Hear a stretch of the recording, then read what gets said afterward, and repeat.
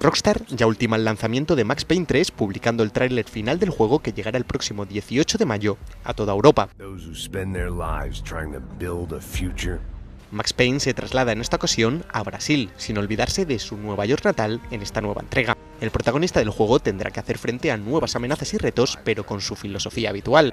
Rockstar ha desarrollado esta nueva entrega de la saga iniciada por Remedy Games, que destaca por mantener los valores más destacados del juego e introducir mejoras sustanciales.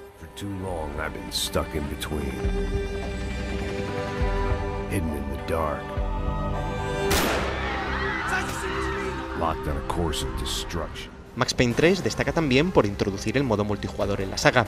Rockstar ha confirmado que el título permitirá a los usuarios disfrutar de un modo de partidas para varios jugadores que promete elevar la saga a un nuevo nivel.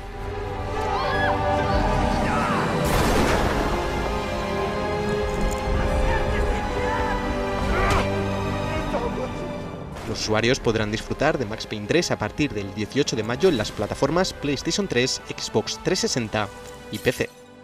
Time moves forward and nothing changes.